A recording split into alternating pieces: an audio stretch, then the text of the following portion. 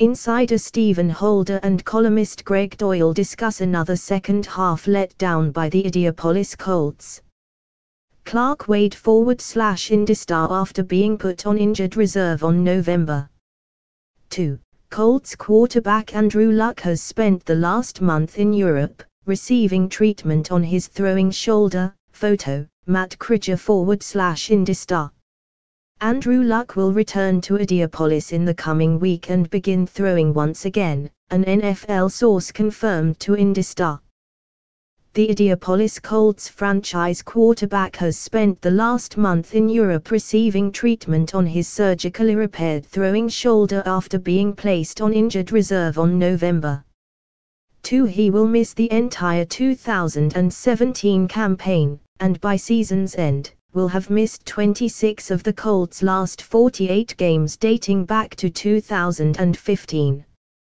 ESPN's Chris Mortensen citing multiple sources, was the first to report the development, and noted that Luck's throwing in the near future will determine whether he needs corrective surgery in January to repair his biceps tendon.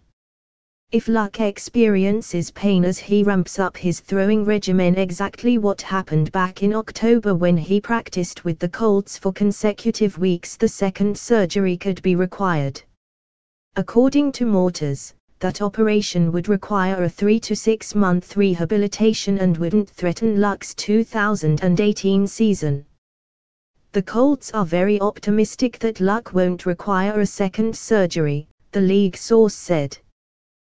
The team has been getting positive news from Luck while he's been in Europe, as the quarterback has kept in constant contact with medical staff, front office, coaches, even teammates.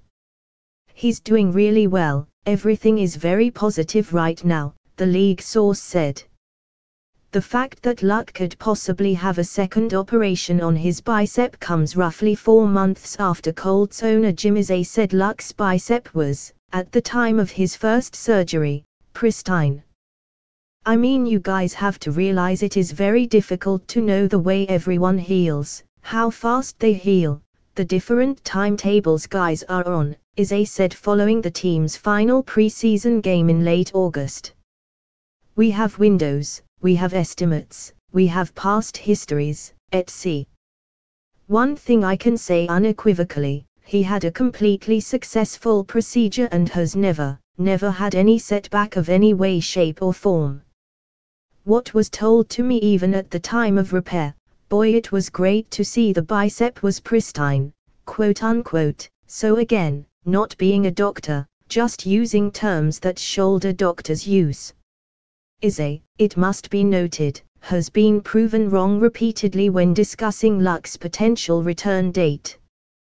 He said early in the 2016 season that no surgeries were planned, Luck went under the knife weeks after the season ended. At that point, Irsay pledged to fans that Luck would be ready for the start of the 2017 campaign, he never took a regular season snap.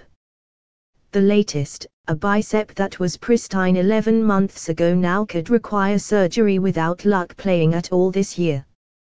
But the team, as previously noted, remain confident a second operation won't be necessary. If Luck's shoulder responds well to the increased workload in the coming weeks, that would likely put him on track to participate in the team's off-season workouts in late April.